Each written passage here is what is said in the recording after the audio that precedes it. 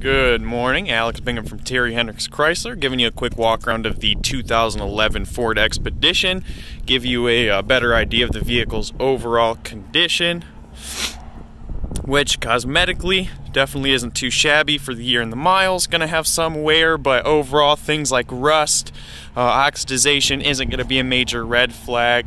As you can see as I walk around, no major dents or dings either give you a look of the uh, door jambs there.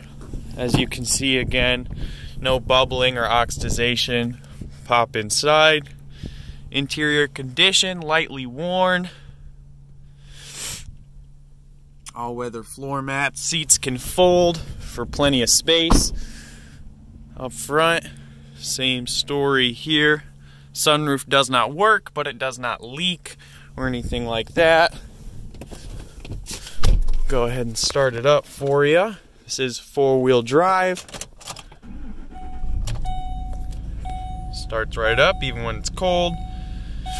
There is a TPM sensor out, tire pressure monitor, but all the tires are filled up with air, holding air. If there's anything else I can showcase for you, don't hesitate to reach out.